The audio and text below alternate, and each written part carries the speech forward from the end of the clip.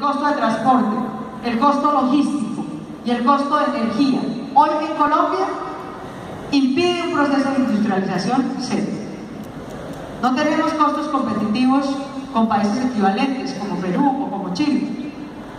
Colombia ha venido haciendo un esfuerzo de infraestructura que hay que continuar, pero yo creo que ese cuento de las APPs, que nos las vendieron como si fuera eh, tener carreteras sin costo. A veces nos dicen que fueran APPs como si eso quisiera decir que las carreteras van a salir gratis.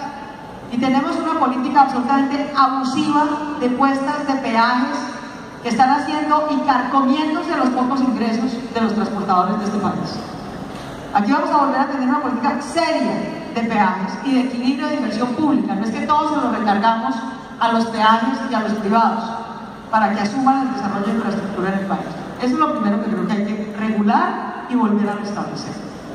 Lo segundo,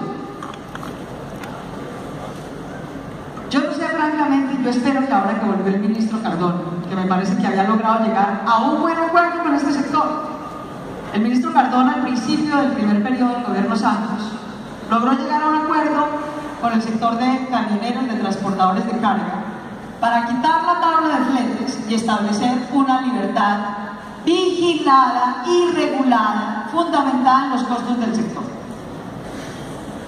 Y por, no sé exactamente por qué, durante el mismo gobierno, años después, los ministros terminaron declarando un libertinaje absoluto, que es lo que reina hoy en el sector, y que es el segundo factor, en mi opinión, que está deteriorando el sector y mermando su calidad de competencia y de costos. De manera que yo creo y los invitaría a que rehagamos un pacto de libertad vigilada, regulada, sobre la base de costos reales del sector